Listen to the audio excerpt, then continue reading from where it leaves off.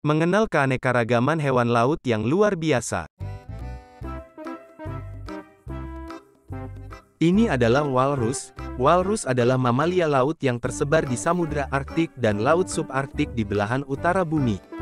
Karakteristik paling unik walrus yang membedakan walrus dari anjing laut dan singa laut adalah gadingnya.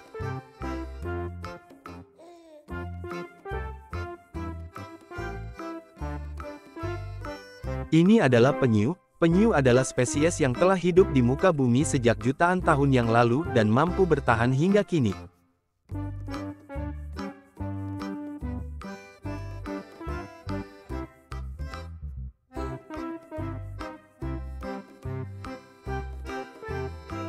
Ini adalah anjing laut. Anjing laut umumnya bertubuh licin dan cukup besar. Tubuhnya beradaptasi dengan baik untuk habitat akuatiknya, di mana mereka menghabiskan sebagian besar masa hidupnya.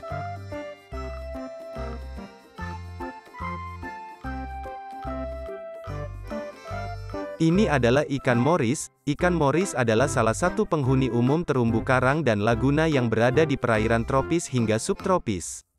Ikan ini terkenal karena persebarannya yang luas di seluruh lautan Indo-Pasifik.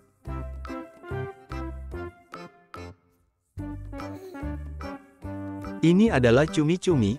Cumi-cumi memiliki ciri-ciri mantel memanjang, ramping, berujung tumpul, sirip berbentuk belah ketupat, panjang sirip dan panjang mantel bervariasi.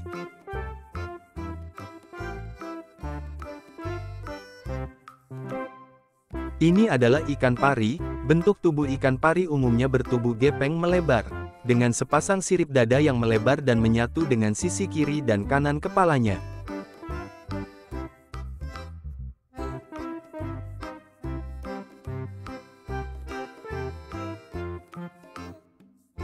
Ini adalah hiu paus. Hiu paus adalah hiu pemakan plankton yang merupakan spesies ikan terbesar. Cucut ini mendapatkan namanya karena ukuran tubuhnya yang besar dan kebiasaan makannya dengan menyaring air laut menyerupai kebanyakan jenis paus.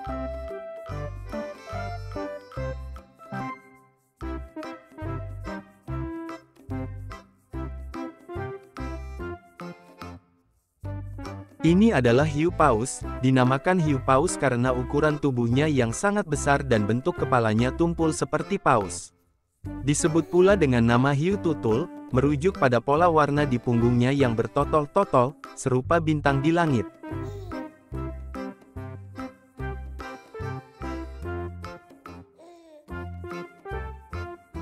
Ini adalah ikan blue tongues. Ikan ini memiliki warna secara umum biru mengkilap atau terang, bagian tubuh depan berwarna hitam, daerah sekitar insang berwarna putih, warna sirip beragam dan berwarna cerah.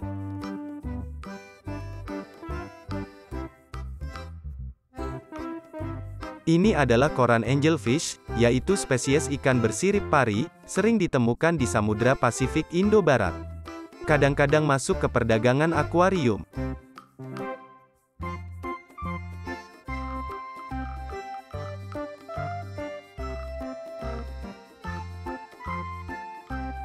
Ini adalah paus beluga. Paus ini merupakan mamalia bergigi berukuran tubuh sedang, panjang tubuhnya berkisar antara 3,5 hingga 5,5 meter dengan bobot tubuh mencapai 1.500 kg.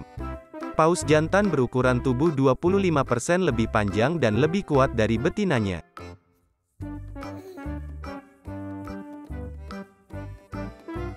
Ini adalah ikan dori, atau blue tang ini sekilas memang hampir mirip dengan ikan kue. Selain sebagai ikan hias, ikan ini juga biasa dikonsumsi.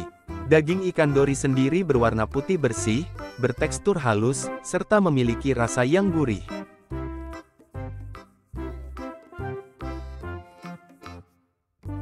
Ini adalah ikan buntal. Ikan buntal memiliki ciri tubuh yang panjang dan meruncing, kepala bundar, bibir menonjol dan perut besar. Ikan buntal ini tidak mempunyai sisik, tetapi beberapa mempunyai duri.